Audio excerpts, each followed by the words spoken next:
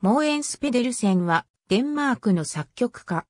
クリスチャン4世の宮廷楽団のメンバーであったメルヒョール・ボルヒグレビンクの弟子で、1599年にボルヒグレビンクがベネツィアのジョバンニ・ガブリエーリのもとに留学するのに随行を許された。1600年にデンマークに戻り、1603年に宮廷楽団の器楽奏者となった。1605年から再びベネツィアに派遣され、さらに4年間、ガブリエーリの下で学んだ。その間の1608年にはマドリガーレを出版している。これは後期ルネサンス様式のポリフォニックな様式によっている。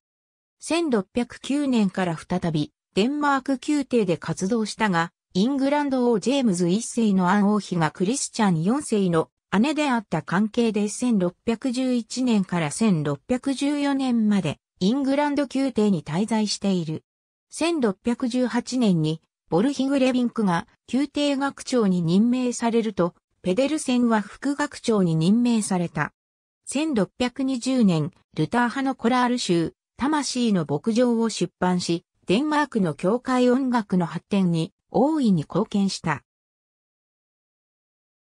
中には6つの自作も含まれており、バロック音楽の様式を示している。ありがとうございます。